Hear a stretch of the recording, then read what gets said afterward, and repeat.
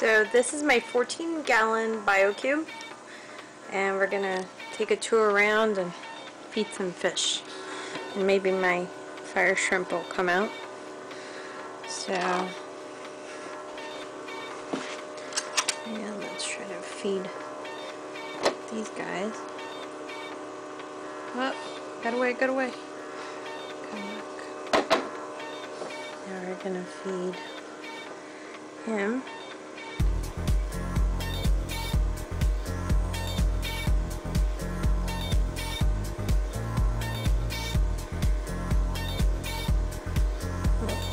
Okay, now he took both of them from me. I have one back, buddy. Okay, just one. Up. Fighting. Okay, he doesn't need that many. Okay, now let's see. Yeah. My anemone is sleeping. It doesn't feel like it's coming out.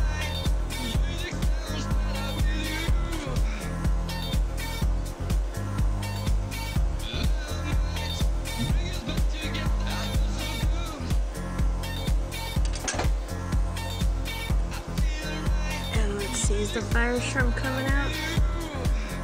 No. But anyway, that's the anemone. It's uh, in full sleep mode. That's a blue little green animal. And it's my Nemo's. And that's the, let's see, what do we have here? Those are like some white fuzzy mushrooms. These are watermelon polyps.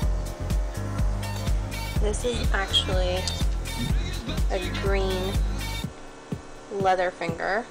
I'm going to turn off the main light so you can see him better.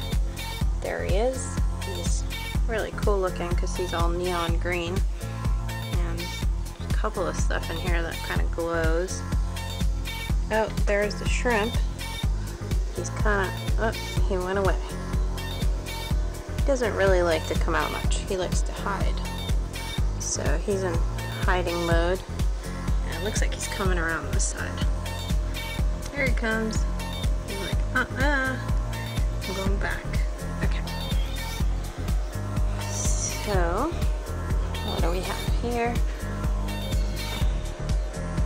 And we have a few more coral stuff over here some more finger polyps. And, uh,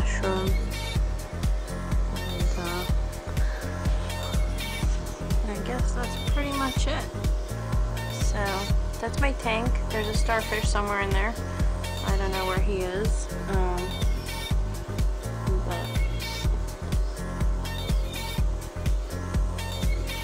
that's my. that guy's still trying to catch his food.